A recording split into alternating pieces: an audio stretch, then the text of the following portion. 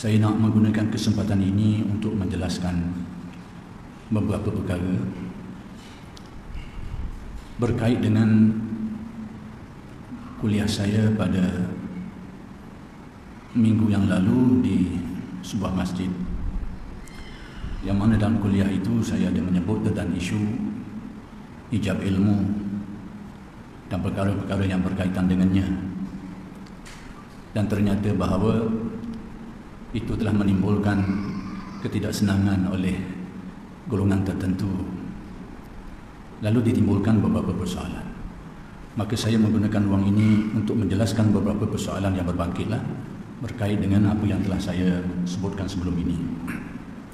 Pada kuliah-kuliah saya yang lalu di masjid ini juga saya pernah mengungkapkan kata-kata yang saya dengari yang saya ketahui diungkapkan oleh almarhum guru saya yang lebih kurang tidak tepat 100% dari segi perkataannya iaitu pengertiannya ialah beliau menyebut jangan kita ini merasa lebih baik dari sesiapa pun. Jadi secara mudahnya ungkapan ini merupakan suatu nasihat daripada seorang guru kepada murid-muridnya supaya bersikap tawaduk dan jangan merasa diri lebih baik dari sesiapa pun. Itu pengertiannya. Namun kalam ini mungkin tidak disetujui oleh setengah orang dan mungkin dianggapnya sebagai kalam yang tidak betul lah. sehingga dipersoalkan apakah orang yang berpuasa itu tidak merasa dia lebih baik daripada puasa orang yang tidak berpuasa ha, bila disebut jangan kita rasa lebih baik dari sesiapa pun persoalan yang timbul sekiranya kita ini berpuasa apakah kita ini tidak merasa lebih baik daripada orang yang tidak berpuasa sekiranya kita bersolat apakah kita tidak merasa kita ini lebih baik daripada orang yang tidak bersolat Sekiranya kita ini belajar ilmu, tidakkah kita ini merasa lebih baik daripada orang yang tidak belajar? Sekiranya kita ini bersalat jemaah, tidakkah kita ini merasa lebih baik daripada orang yang tidak berjemaah? Ah, itu bersalat. Jadi kata-kata nasihat supaya jangan merasa diri lebih baik dari sesiapa pun dianggap tidak betul atau dikira sebagai tidak tepat, salah dan sebagainya. Baik, saya ingin jelaskan ini. Jadi seolah-olahnya Contoh yang saya ambil yang tadi contoh-contoh yang disebut tadi itu bahawa sekiranya kita ni pergi belajar ilmu berjemaah, berpuasa, bersolat lalu kita rasa kita lebih baik daripada orang yang tidak melakukannya. Apakah itu sesuatu yang betul atau itu adalah merupakan satu kesombongan takabur? Nah, jadi inilah yang saya jelaskan. Jadi kata-kata yang mengatakan jangan merasa diri lebih baik dari sesiapa pun dianggap berlawang dengan perkara ini. Nanti saya akan jelaskan. Baik, berbalik kepada kata-kata jangan merasa diri lebih baik dari sesiapa pun. Pertama sekali, dari mana sumbernya? Mana sandarannya? Kita lihat. Sebelum kita uji kata-kata ini, boleh pakai ke tak? Betul ke tak? Pertama sekali, di mana sandaran syaraknya? Itu dulu sekali kita kena. Baik. Kata-kata ini ternyata kalau kita lihat dari Al-Quran adalah sesuatu yang diambil dari firman Allah. La yaskhar qaumun min qaumin asa an yakunu khairan minhum. Janganlah sesuatu kaum itu melekehkan, memandang rendah, menghina kaum yang lain. Barangkali mereka ini lebih baik daripada yang mempelekehkan itu. Ternyata kaum di sini umum. Umum. Janganlah sekelompok itu, sesuatu kaum itu mempelekehkan sekelompok yang lain. Tidak dinyatakan bahawa mereka ni alim ke, jahil ke, ahli ibadah ke, ahli maksiat ke tidak dinyatakan umum jangan sampai sekelompok itu menghina kelompok yang lain sifatnya umum satu berarti mencakupi semuanya yang kedua hadis Nabi ketika Nabi menjelaskan tentang takabur apa kata Nabi takabur itu adalah menolak kebenaran batarul haq wa ghamtun nas Takabur ni pertama sekali ada dua komponen. Pertama sekali batarul haq menolak kebenaran. Disebabkan kerana itu ini kebenaran yang nyata jelas kita tolak itu sombong. Tapi itu satu komponen. Yang kedua Nabi kata wa ghamtun nas menghina, memandang rendah, memperlekeh, memperbodoh dan sebagainya. Manusia, anas, umum. Memperlekehkan manusia. Tak dinyatakan sama ada dia alim ke, dia jahil ke, dia orang ta'ah ke, dia alim manusia ke dan sebagainya. Tak Umum. Memperlekehkan orang, anas, manusia. Manusia. Umum sifatnya. Memandang rendah, memperlekehkan manusia. Itu adalah takabur. Jadi kenyataan bahawa jangan merasa lebih baik dari sesiapa pun ternyata sesuai dengan hadis. Lam tunas jangan pandang lekeh kepada manusia-manusia ini. Umum sifatnya. Maka di sinilah Al-Imam Al-Ghazali rahmatullah alaihi menjelaskan. Kata Imam Ghazali, kalau nak tengok tengoklah. Kalau mudah kok senang nak tengok kita Sayyidul Salikin. Jilid ketiga tengok bahagian Syamsul Samad menjelaskan tentang kecelaan sifat takabur dan cara nak merawatnya dia menukilkan kalam Imam Ghazali. Ha, tengok itulah mudah. Kalau nak gambar kita besar sikit ayat, nanti kan tak ada sanad pula. Atau budak uti baca pula. Tengok kita mudah lah. Syarul Salikin. Syarul Salikin. Apa kata Imam Ghazali?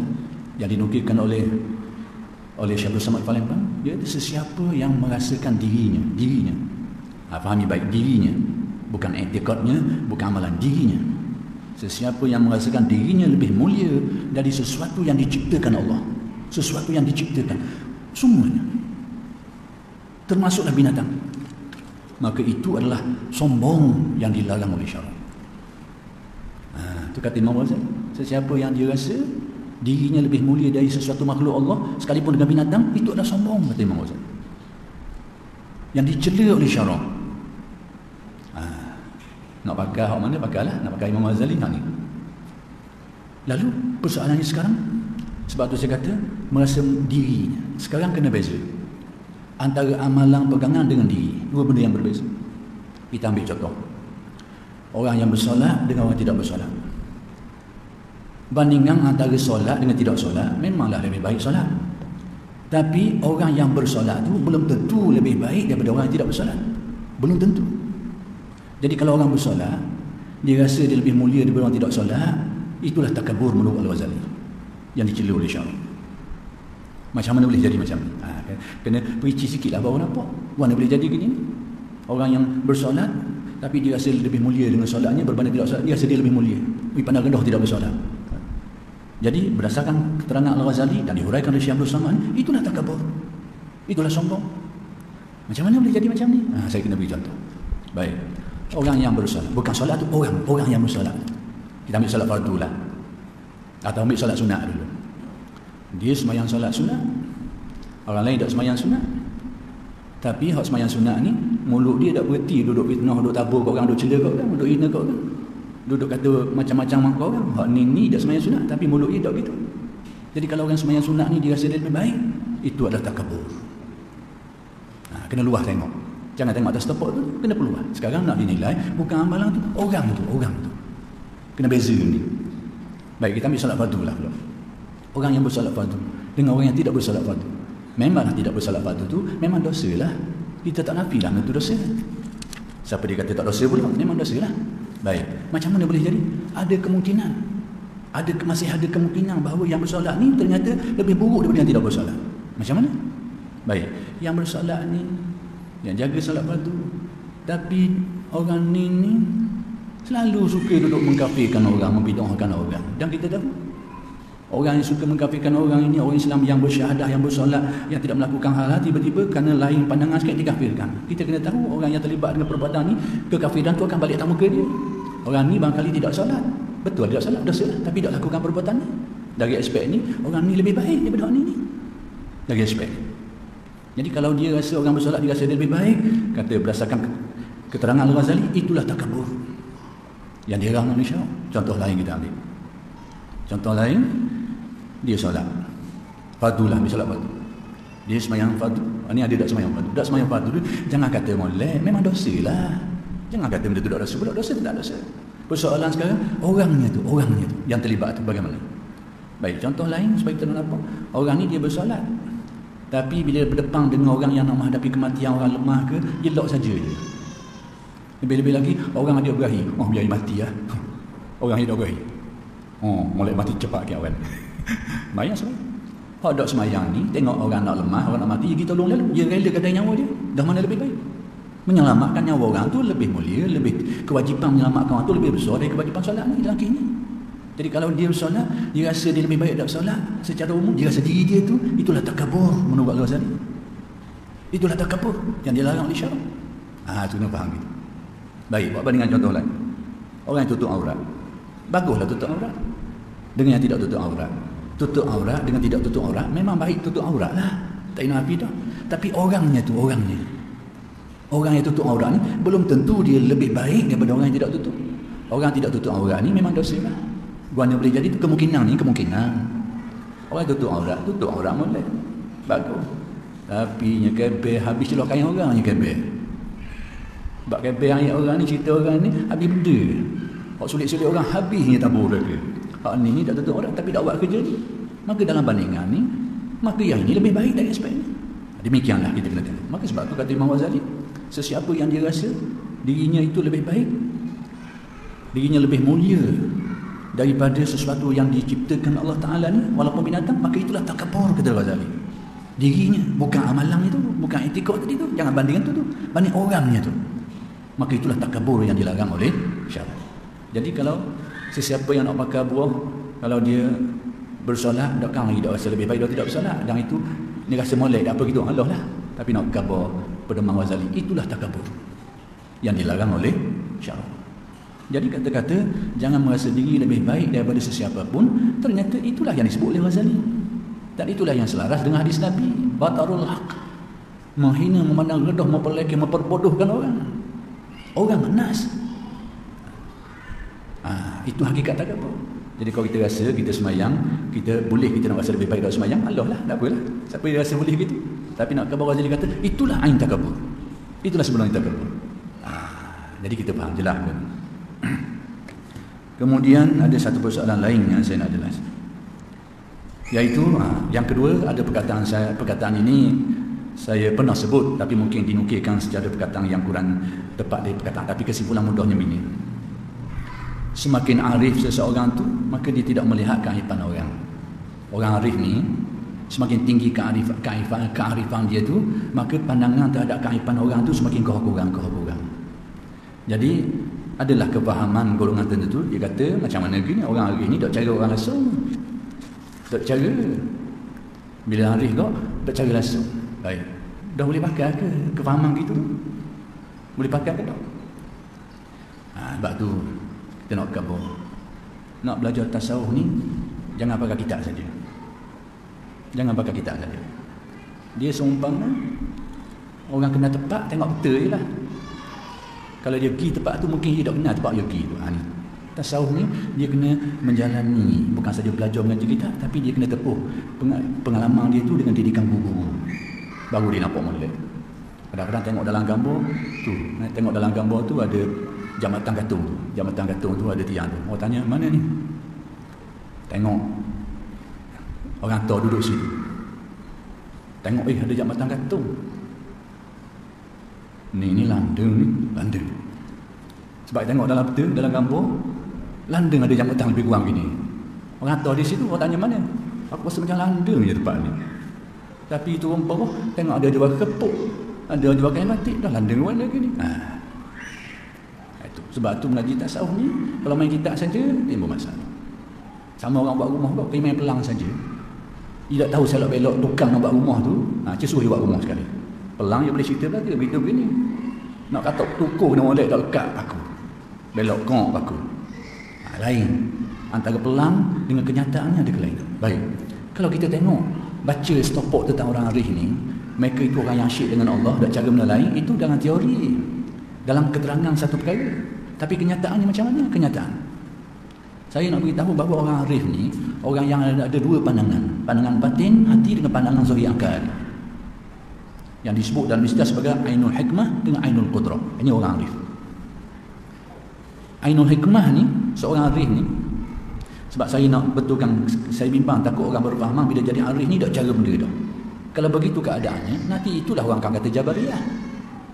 Jabariyah ada cara benda dah dosa pahala salah orang dah okay, dah risau dah pertama sekali berkemungkinan akan dituduh sebagai Jabariyah atau berkemungkinan akan dituduh sebagai orang yang tidak apa ni mengambil hal tentang urusan kewajipan bermasyarakat dan sebagainya.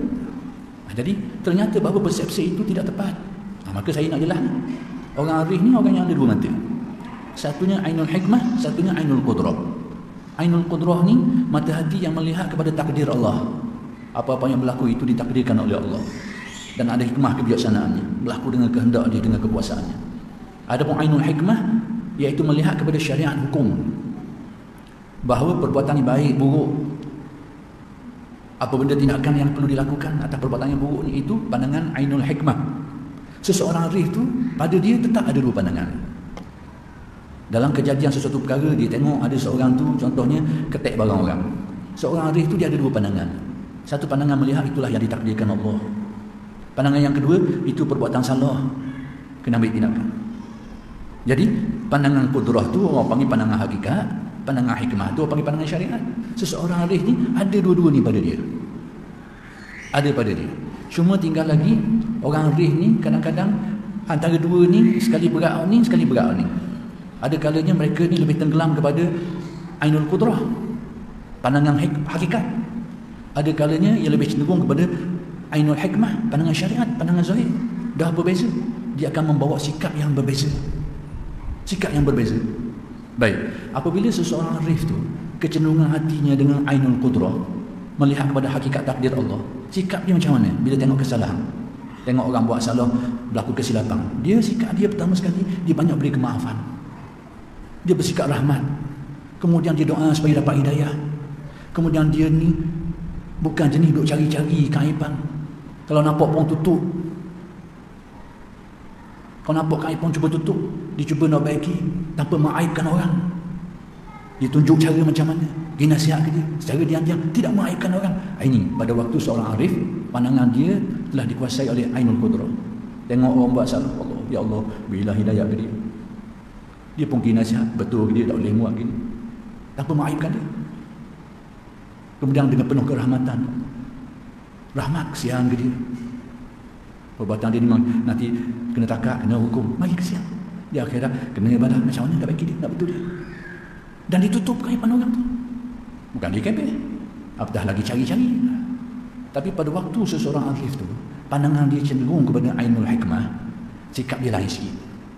Sikap dia macam mana? Sikap dia ni pertama sekali dia akan marah atas perbuatan jahat. Ni perbuatan salah ni. Tak boleh ni.